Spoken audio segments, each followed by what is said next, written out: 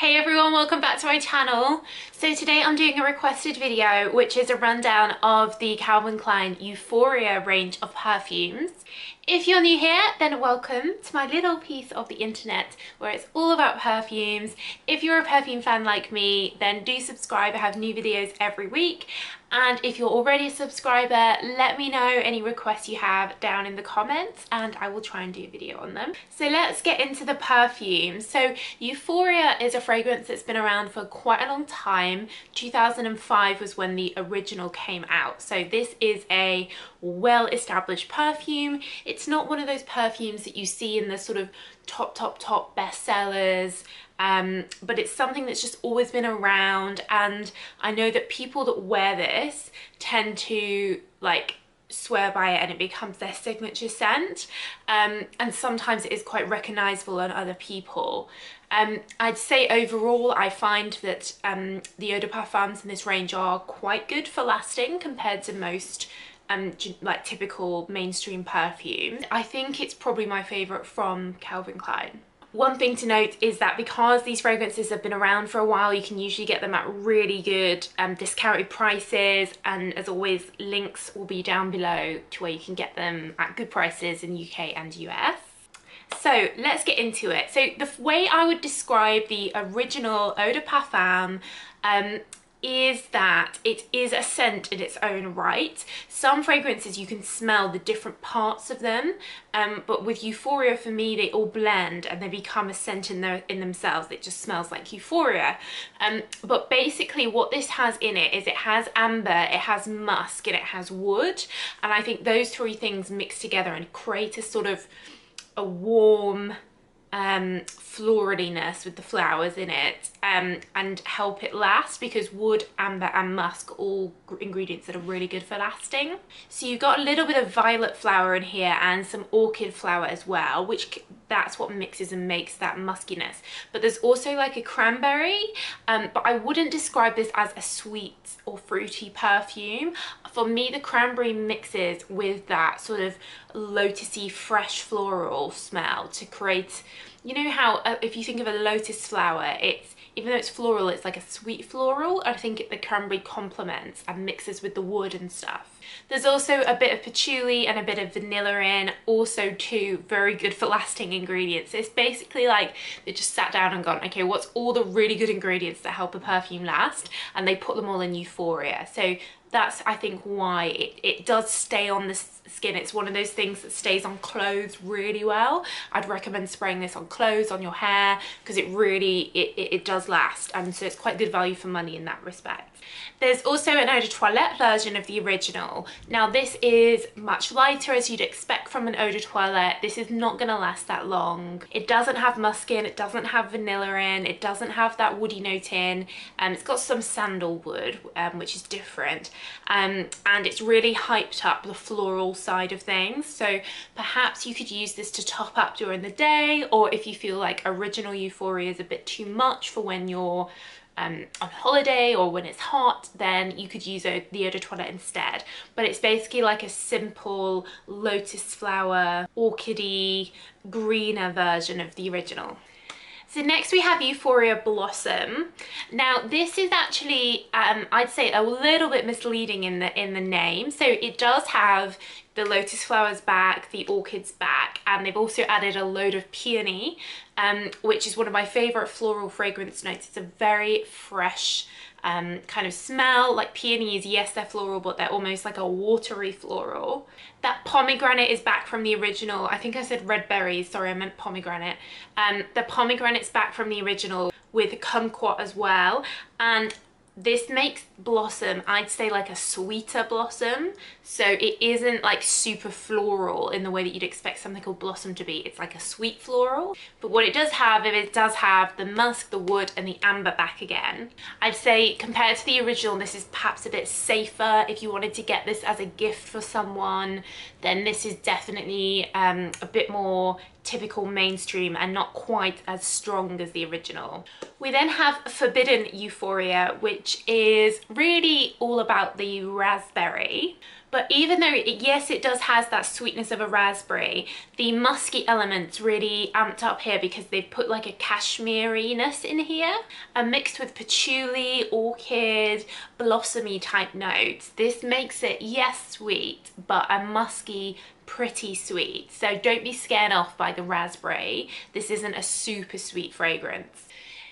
It, this is almost along the sort of Flowerbomb type lines, but like a sweeter Flowerbomb and you can smell the patchouli in this. So the patchouli comes into its own after about, I don't know, 15 minutes or something, you can smell it. So one for patchouli fans. Next we have Euphoria Gold, departing from their typical um, purpley pink colours. Um, gold has honey in as the main note, so this is like a warm sweetness, but also a warm fruitiness with apricot, kumquat, um, an orangey, like a sort of crystallized orange. And that's all complemented by a little bit of white floral and patchouli and musk. So I'd say this is quite good for lasting. Musk and patchouli really help a fragrance last. Um, but this has that honey element in. So if you like uh, Jean-Paul Gaultier's Scandal, I'd say that's quite similar. Another honey perfume. Um, but yeah this is definitely warm. I'd wear this perhaps in the autumn. You know I find honey even though it's sweet is a warmness. It's not really a summer warm next we have endless euphoria. Now this has got rose as one of the main notes and mixed with the violet from the original euphoria this is probably one of the most florally of all of them. It also has cherry blossom and bamboo but I think the rose and perhaps the cherry blossom are the dominant notes. It is probably the most floral. I'd say mixing with the violet and the woodiness has an almost traditional element to it. So if you want like a classic floral scent, then Endless Euphoria is that. I think definitely good for daytime, nighttime. You know, it's more about do you like florals, do you like rose? And this is not really a fresh rose, I'd say. Even though in the, uh, like the first few minutes you get um, a citrusy bergamontiness, as it settles down it becomes more of a classic rose smell. So I'd say of all of them, this is probably the most classic smell. Next we have Euphoria Essence. Now this is blackberry and raspberry. I love blackberry perfume, so this might be one of my favourites, I think, in the range. It also has white chocolate in, patchouli, orchid, and a sort of cashmere element to it with some white florals, but it really is the blackberry and raspberries are the star of the show with that classic Euphoria orchidness to it and then the white chocolate off obviously adding a bit of a warm sweetness. It almost is like a sour or boozy um, blackberry and raspberry rather than a sort of fresh summer. So this is definitely more autumn winter fragrance in my opinion. It's it's that fruitiness like it's probably the most fruity in the range and I know that this is one that does have people that keep buying it again and again. You know some flankers are just a bit like you know meh um, whereas this one almost is a perfume in its own right. People that like that that sour blackberry raspberry um, get this um, just like they get the original Eau de Parfum.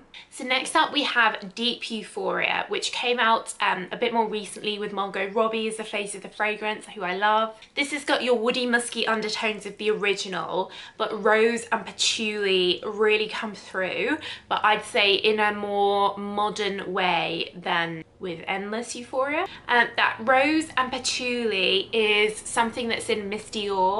So this is of a, of a similar vein to Miss Dior, um, which is probably why I like it. Um, this is quite similar, I guess, to original Euphoria in that all the fragrance notes kind of mix together, but I'd say it's a little bit more um, sort of prettier, I guess, with that rose, whereas the original Euphoria is more like quite strong and empowering scent I'd say. This is like a little bit more prettier. I think it would mix well actually if you have both. You could wear them together. The only thing to say is it does have um like a white pepper note in which for some people on their skin it, it in the dry down it becomes peppery um, but not on everyone. So I guess it just varies. But yeah I think this is really nice very modern and pretty but still okay for lasting. Not as good as original Euphoria, but still okay. It also comes in an eau de toilette version which is much lighter and quite different. So it's water lily and pear. So both of those things are quite watery, aquatic type notes. And then you've got a musky rose and a little bit of the wood. So it does still smell like a euphoria scent, but really much fresher. You'd wear this on a really hot day.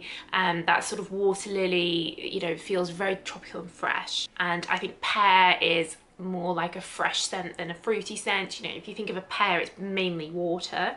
Um, so it's quite sort of calming vibes, I'd say. And then finally, we have a brand new release which is Euphoria Blush, which I guess has come out for Christmas 2019.